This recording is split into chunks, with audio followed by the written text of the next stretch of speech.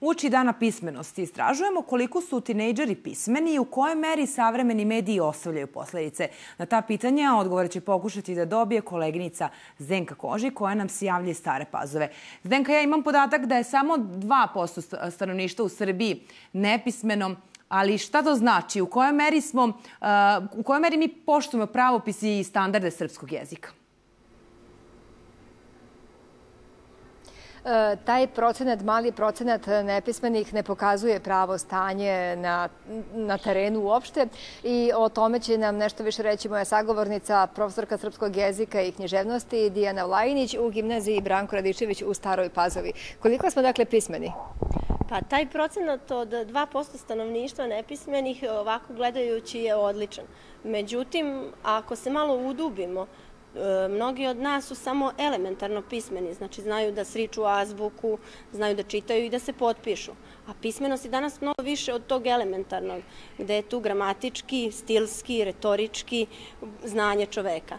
I danas svi nekako smo duboko zagazili u ovu digitalnu pismenost, a da ne pričamo o mnogim drugim vrstama pismenosti, finansijskoj, političkoj i u mnogim sferama razno raznih profesija u kojima trenutno ja kao profesor srpskog jezika i književnosti mogu samo da pričam u svojoj sferi. E, možete da pričate i o radu sa tinejdžerima. Koliko su oni u opasnosti od ove digitalne ere? Pa to je ono što ja njima nekada, ne nekada, nego konstantno ponavljam, pogotovo dok smo bili u ovoj online nastavi, da se izražavaju nepismeno e, iz prostog razloga što su nekako društvene mreže uzele danak u krvi srpskom jeziku i književnosti danas i mnogi od njih koriste razno razne smajlije e, i komuniciraju putem nekih skraćenica, ali o tome i oni mogu mnogo više da kažu nego ja. E, upravo ćemo mi to njih da pitamo. Jovana Mladenovska i Kristina Jovančević, gimnazijalke. Da li je profesorka u pravu? E, apsolutno se slažem sa profesorkom. Nažalost, sve više koristimo emojije, razne stikere.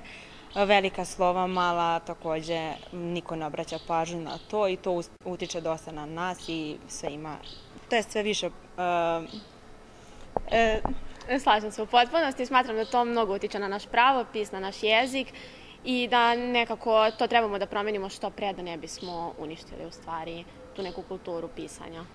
Svesne ste toga, a kad šaljete nekome poruku, napišete PZ, PZZ ili MSM ili srce? Da, da, da, da. da. Zašto to radite? Pa skraćenica, prosto kao što smo rekli, to jeste da loše po nas, ali i svi to koriste i mislim da bi trebalo to da promenimo, ali nažalost tako je kako je. Ne. Potrudit ćemo se da menjamo, ali Može li promena od večeras? Naravno da može. Da li i čitanje utiče na pismenost? Svakako da utiče i prosto mislim da je to mnogo važno u stvari da bi se naša pismenost proširila i održavala.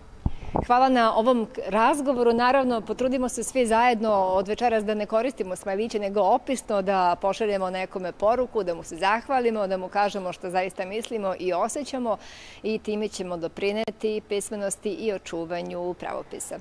Studio